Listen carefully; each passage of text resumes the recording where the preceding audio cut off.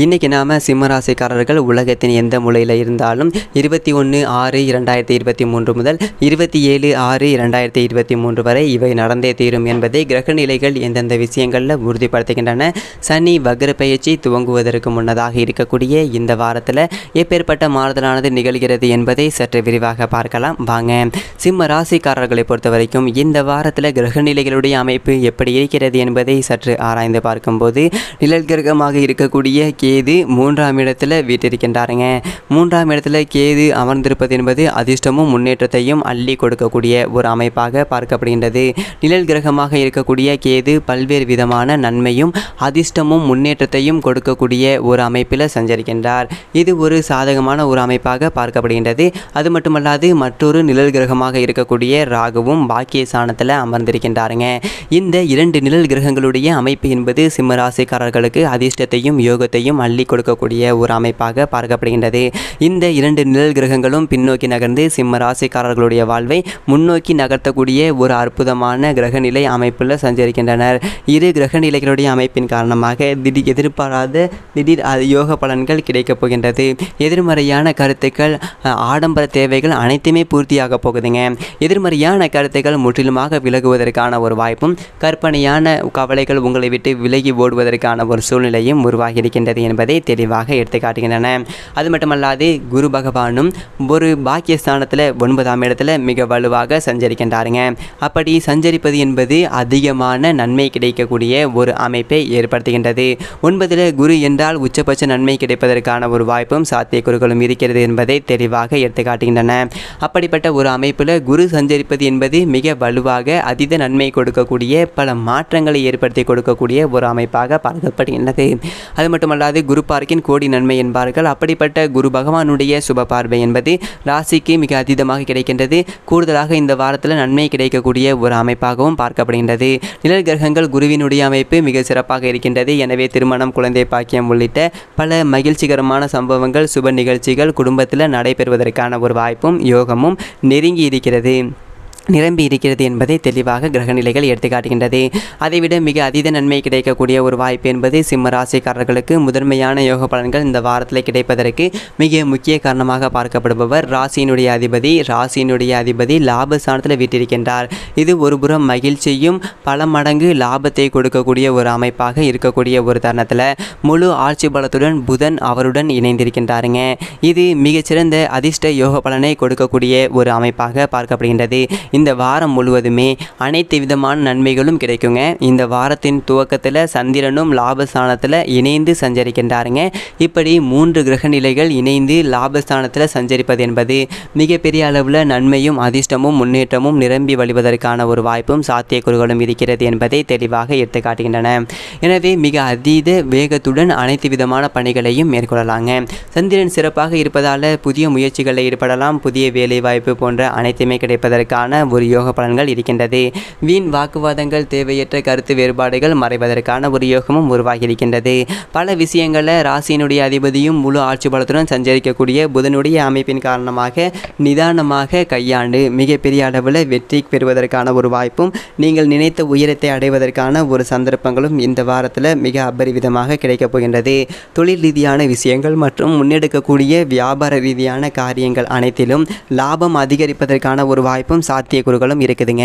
இந்த வாரத்தில் சிம்ம ராசிக்காரர்கள் ராசியினுடைய அதிபதி மிக அதீத பலத்துடன் சஞ்சரிப்பது என்பது லாபஸ்தானத்தில் சஞ்சரிப்பதால் நீங்கள் நினைத்த அத்தனை காரியமும் மிக சிறப்பாக நடைபெறும். எனவே சிறிதளவும் தயக்கமும் இன்றி அத்தனை பணிகளையும் மிக அதீத வேகத்துடன் செயல்படுங்கள். நிச்சயமாக நீங்கள் நினைத்ததை விட மிகச்சிறந்த முன்னேற்றம் பெறுவதற்கான ஒரு வாய்ப்பும் யோகமும் இருக்கிறது என்பதை தெளிவாக எடுத்துக்காட்டுகின்றது. அது மட்டுமல்லாது கௌரவமும் புகழும் அதிகரிப்பதற்கான ஒரு வாய்ப்பு நிச்சயமாக கிடைக்கிறதுங்க. திட்டமிட்ட காரியங்கள் மிக சிறப்பாக நடைபெறும். அரசாங்க வேலைகள் அனைத்துமே நீங்கள் நினைத்தவாறு ப- செய்து முடிக்கக்கூடிய ஒரு அதிர்ஷ்டம் நிறைந்த வாரமாக இந்த வாரம் பார்க்கப்படுகின்றதுங்க. இப்படி பல அமைப்புகள் நன்மைகள் கிடைக்கப் போகின்றது. நிழல் கிரகங்கள் குரு ராசியினுடைய அதிபதி புதன் போன்ற கிரகநிலையுடைய அமைப்பு வலுவாக நன்மை தரக்கூடிய ஒரு அமைப்பில் இருக்கின்றது. அதே போன்று மிக வலிமை வாய்ந்த சனி பகவானும் ஏழாம் இடத்தில் சஞ்சரிக்கின்றார். மிக விரைவில் வக்ரகதியில் திரும்ப போகின்றார். எனவே சனியினுடைய அமைப்பு மிக சிறப்பாக இருக்குதுங்க. நீங்கள் நினைத்தபடியே உத்தியோகம் தொழில் சார்ந்த விஷயங்களில் நல்ல லாபத்தை பெறுவதற்கான ஒரு வாய்ப்பும் சனி கொடுக்குறாருங்க. அது மட்டுமல்லாது உங்களுடைய சிறு முயற்சியில் கூட மிகப்பெரிய அளவில் வெற்றியும் முன்னேற்றமும் கிடைப்பதற்கான ஒரு வாய்ப்பும் யோகமும் உருவாகி இருக்கின்றது என்பதை தெளிவாக எடுத்துக்காட்டுகின்றார். எனவே இந்த சந்தர்ப்பத்தை சரியாக பயன்படுத்திக் கொள்ளுங்கள். சனி பகவானுடைய அமைப்பு என்பது பெருமளவிற்கு சிரமத்தை ஏற்படுத்தக்கூடிய ஒரு அமைப்பில் இல்லை என்பது மேலும் நன்மை தரக்கூடிய ஒரு அமைப்பாக பார்க்கப்படுகின்றது. ஆனால் நவகிரகங்களிலே செவ்வாய் மற்றும் சுக்கிரனுடைய அமைப்பு என்பது சாதகமற்ற ஒரு சூழ்நிலையில் இருக்கின்றது. ஏனென்றால் செவ்வாய் நீச்ச நிலையில் பன்னிரெண்டாம் இடமாகிய விரைய ஸ்தானத்தில் சஞ்சரிக்கின்றாருங்க. அவருடன் சுக்கிரன் இணைந்து சஞ்சரிப்பதால் சுக்கிரமங்கல யோகம் என்பது கிடைக்கின்றது. சுக்கிரமங்கல யோகம் கிடைத்தால் பல்வேறு விதமான சுப நிகழ்வுகளை சிறப்பாக செய்து முடிக்கலாம். விரய செலவுகள் கட்டுக்குள் வருவதற்கான ஒரு வாய்ப்பு இருந்தாலும் தேவையில்லாத கருத்து வேறுபாடுகள் சங்கடங்களும் அதிகரிப்பதற்கான ஒரு வாய்ப்பு இருக்குதுங்க. கணவன் மனைவி குடும்ப உறுப்பினர்களுக்கிடையே திடீரென தேவையில்லாத வாக்குவாதங்கள் ஏற்பட்டு அதனால் கருத்து மோதல்கள் உருவாவதற்கான ஒரு வாய்ப்பு என்பது மிக அபரிவிதமாக இருக்கின்றது. எனவே இது போன்ற தருணங்களில் சற்று நிதானமும் பொறுமையும் மிக முக்கியமாக தேவைப்படுகின்றது. அது மட்டுமல்லாது அலைச்சல் அதிகரிப்பதற்கான ஒரு சாத்தியக்கூறுகள் இருக்குதுங்க. ஒரு வேலையை செய்து முடிக்க வேண்டும் என்றால் அலைந்து திரிந்து முடிக்க வேண்டிய ஒரு சூழ்நிலை என்பது ஏற்படுகின்றது. சுக்கரன் வலுவாக இல்லாத ஒரு அமைப்பின் காரணமாக கொடுக்கல் வாங்கல் விஷயத்திலும் சற்று நிதானத்துடன் இருக்க வேண்டும். தேவையில்லாத ஆடம்பர செலவுகளில் அதீத செலவை செலவழித்துவிட்டு பின்னர் வருத்தப்படுவதில் எந்த விதமான ஒரு விஷயமும் கிடையாது. எனவே ஆடம்பரம் சார்ந்த விஷயத்திலும் விரைய செலவுகள் சார்ந்த விஷயத்திலும் அதீத கவனமும் நிதானமும் பொறுமையும் மிக முக்கியமாக தேவைப்படுகின்றது என்பதை சுக்கிரன் மற்றும் செவ்வாய் மிக தெளிவாக எடுத்து காட்டுகின்றன.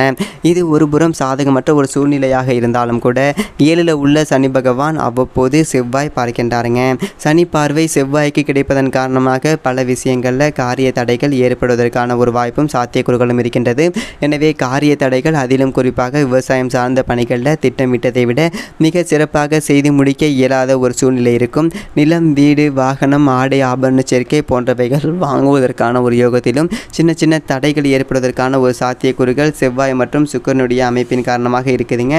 இந்த இரண்டு கிரக நிலைகள் தவிர மற்ற கிரக நிலைகள் அனைத்துமே பெரும்பாலும் சாதகமாகவும் அதீத நன்மை கொடுக்கக்கூடிய ஒரு அமைப்பிலும் சஞ்சரிக்கின்றனர். எனவே உலகத்தின் எந்த மூலையில் சிம்மராசிக்காரர்கள் இருந்தாலும் நீங்கள் கையில் எடுக்கக்கூடிய காரியத்தை மிகச்சிறப்பாக செய்து முடித்து தரக்கூடிய ஒரு அமைப்பில் லாபஸ்தானத்தில் ராசியினுடைய அதிபதி வலுப்பெற்று சஞ்சரிக்கின்றார். அவரோடு புதன் இணைந்து சஞ்சரிக்கின்றாருங்க. சில கிரக நிலைகளுடைய அமைப்பு சரியில்லை என்று வருத்தப்பட வேண்டாம். இந்த கிரக நிலைகளுடைய அமைப்பில் அதாவது குறிப்பாக ராசியினுடைய அதிபதியும் புதனுடைய அமைப்பும் வலுவாக இருப்பதால் எப்பேற்பட்ட கடினமான சூழ்நிலையாக இருந்தாலும் அதை சாதகமாக மாற்றிக்கொள்ளலாங்க உலகத்தின் எந்த மொழியில் இருந்தாலும் நீங்கள் நினைத்த காரியம் கனகச்சிதமாக நிறைவேறும். காதல் உத்தியோகம் தொழில் வியாபாரம் என எந்த விஷயமாக இருந்தாலும் அதில் மிகப்பெரிய மாற்றத்தையும் முன்னேற்றத்தையும் உங்களால் பெற முடியும் என்பதை கிரக நிலைகள் துல்லியமாக உறுதிப்படுத்துகின்றன. மேலும் சிம்ம ராசிக்காரர்கள் இந்த வாரத்தை மிகச்சிறந்த மகிழ்ச்சிகரமான வாரமாக மாற்றிக்கொள்வதற்கு தினமும் காலையில் சூரிய நமஸ்காரம் செய்யுங்கள் சூரியனை வழிபாடு செய்யுங்கள். ஏனென்றால் தினமும் மாலை வேளையில் அருகாமையில் உள்ள சிவன் ஆலயம் அல்லது ஆஞ்சநேயர் ஆலயம் சென்று வழிபாடு செய்யுங்கள். அப்படி செய்வதன் மூலம் அதீத நன்மை நிச்சயம் சிம்மராசிக்காரர்களுக்கு கிடைக்கும் என்பதில் சந்தேகமே இல்லை. மேலும் நல்லதெல்லாம் நடக்க குல தெய்வத்தை வழிபட்டு எந்த ஒரு செயலாக இருந்தாலும் தொழிலாக இருந்தாலும் தொடங்குங்க. அப்படி தொடங்கும் போது அதில் நீங்கள் எதிர்பார்த்ததை விட மிகப்பெரிய லாபம் அடைவதற்கான வாய்ப்புகள் அப்படிங்கிறது அதிகமாகவே இருக்குங்க. இந்த வீடியோ பற்றின கருத்துக்களை மறக்காம கீழே கமெண்ட் பாக்ஸில் பதிவு பண்ணுங்கள் இதே மாதிரி இன்னும் நல்ல வீடியோ பார்ப்போம். நன்றி. வணக்கம்.